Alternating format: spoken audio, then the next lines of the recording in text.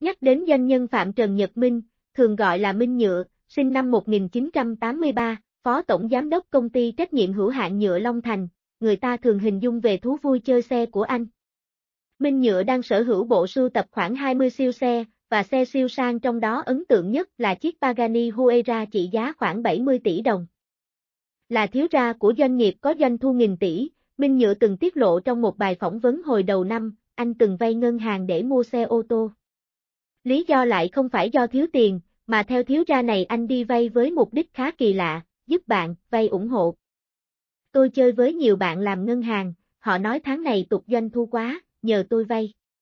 Với những người có khả năng trả lãi đúng hạn, có năng lực tài chính thì việc này rất bình thường, nhất là ở nước ngoài, ở Mỹ. Chỉ cần hàng tháng, bạn trả đúng hạn, đúng số tiền thì bạn bước vào bất kỳ ngân hàng nào họ cũng đều tin bạn, cho bạn vay. Đó gọi là tính chất. Tôi cũng muốn thử nó như thế nào. Tiền lãi từ gửi tiết kiệm của tôi còn nhiều hơn tiền lãi vay. Như tay trái bỏ sang tay phải vậy. Nhưng để trả ngân hàng, tôi làm việc nhiều hơn để đắp vào khoản đó chứ không bao giờ lấy tiền tiết kiệm sang, Minh Nhựa chia sẻ. Theo Minh Nhựa, cách anh làm là tạo điều kiện cho họ có chỉ số uy tín với ngân hàng, giúp họ thăng tiến. Từ nhân viên, bạn bè của anh cũng lên chức cao và rồi quay ngược lại khi Minh Nhựa cần, họ cũng sẵn sàng giúp anh. Có lần, tôi ký hợp đồng vay mua xe trong 5 năm với một số tiền khủng khiếp, tạm ví dụ là 10 tỷ đồng vì thực tế cao hơn rất nhiều. Nhưng tôi không cần nợ từng ấy thời gian, vì sau 2, 3 tháng là tôi trả hết cho ngân hàng rồi, Minh Nhựa chia sẻ thêm.